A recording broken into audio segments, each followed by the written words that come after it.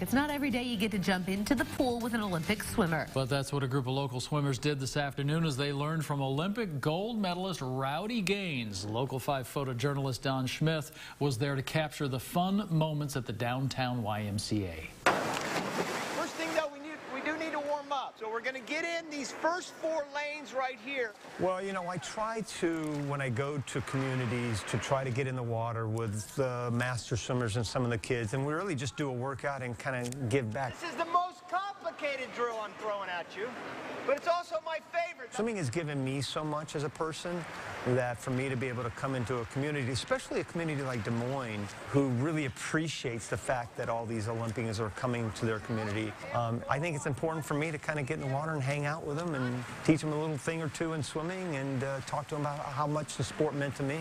Not 90, not zero, 45 degree angle. I didn't start swimming until I was 17 years old. I was a junior in high school. And one of the reasons was because I got cut in five other sports before swimming.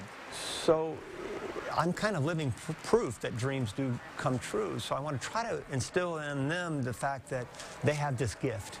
And they need to be able to take advantage of that gift, whether it's in swimming or some other sport. And I think that's my main message.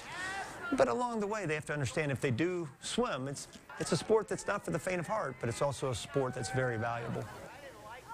Oh, Yeah. And you were saying what a beautiful that is the pool that was a little delayed downtown, but that one was worth the wait. absolutely. And, and good to see that they're using it for things like this. Uh-huh. What a special experience. Rowdy Gaines, I remember that name from way back.